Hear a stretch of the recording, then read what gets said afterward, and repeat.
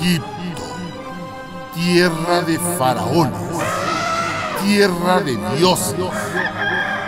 De allí nos llega la historia de amor más grande jamás contada.